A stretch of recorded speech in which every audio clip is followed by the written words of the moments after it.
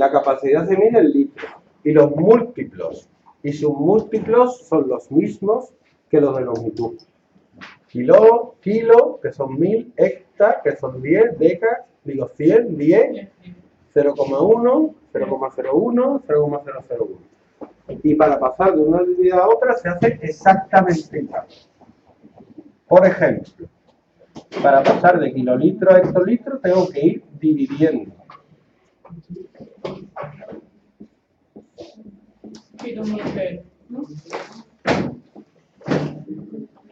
¿Cómo?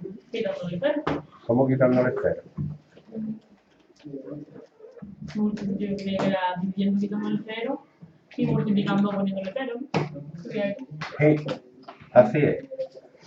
Mm, 500 litros, ¿cuántos decalitros son?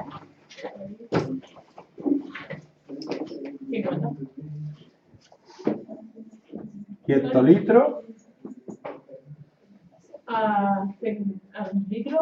hectolitros. Ah. Ah.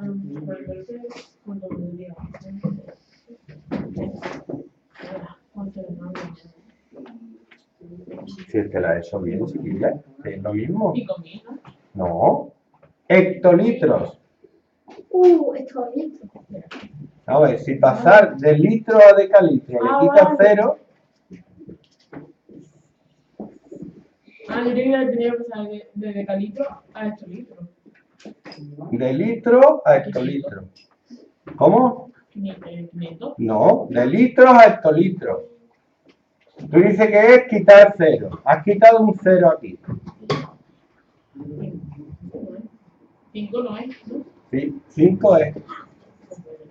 Porque ha dicho quitarle cero más 50. Y luego el cero. 300, no, 3.741 centilitros. ¿A litro? A litro, sí.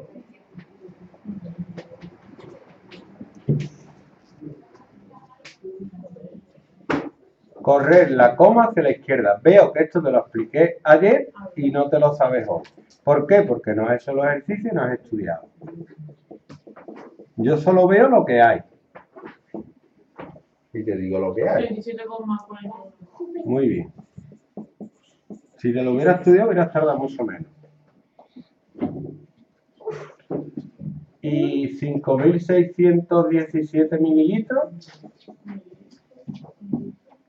¿Cuántos litros son?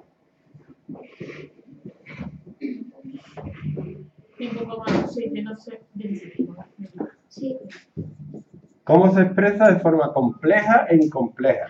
Por ejemplo, si tengo 5,617 mililitros, lo que puedo hacer es colocarlos aquí. 5.617. Entonces, 5.617 mililitros son 5 litros, 6 decilitros, 1 centilitro y 7 mililitros.